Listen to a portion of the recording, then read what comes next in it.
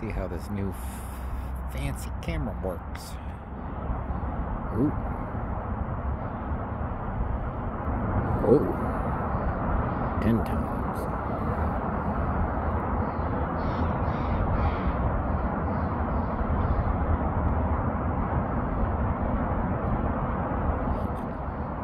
He spends a lot of time in that window there, so he likes to spend some time on the ground below. Yes, I'm talking about you.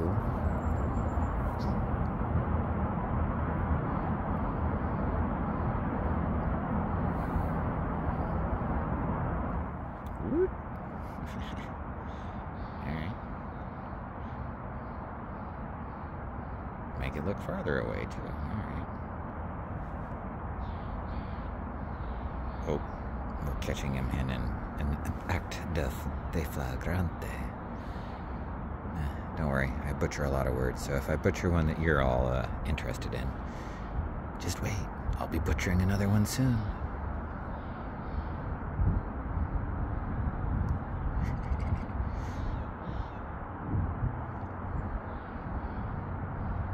That was a good bee. Still going.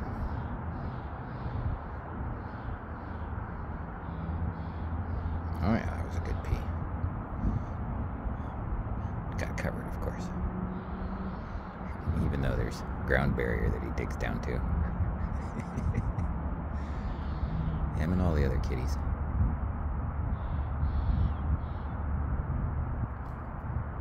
It's funny, this apartment has a, or apartment complex, I should say, has at least three or four cats that have either escaped or been abandoned by people over the years that just kind of chill now.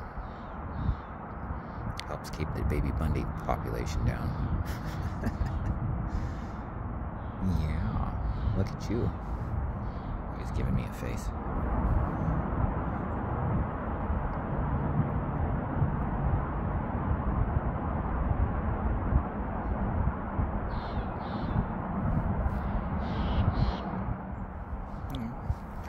Instant zoom feature is kind of nice. You can still do it manually, of course.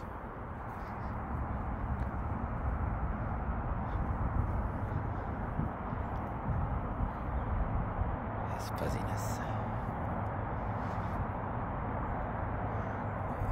Unfortunately, the people that now run this place, since the old guy had to retire for cancer, treat it like shit.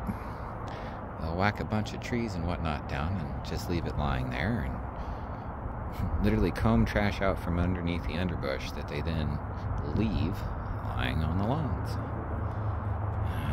At least the old guy doesn't come by. You kill him to see what they've done.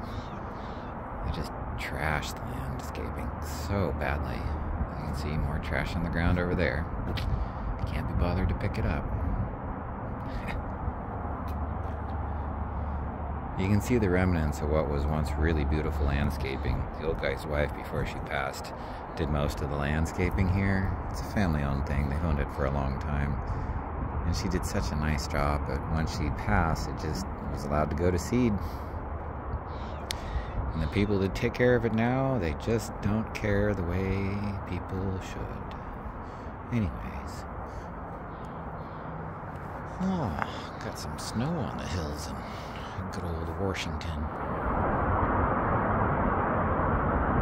And no, there's no R in Washington. You should never say Washington seriously.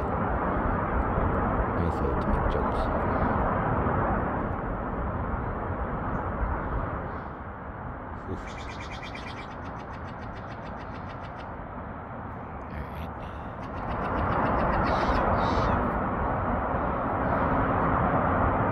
Twenty times zoom. The house gets all the the other side of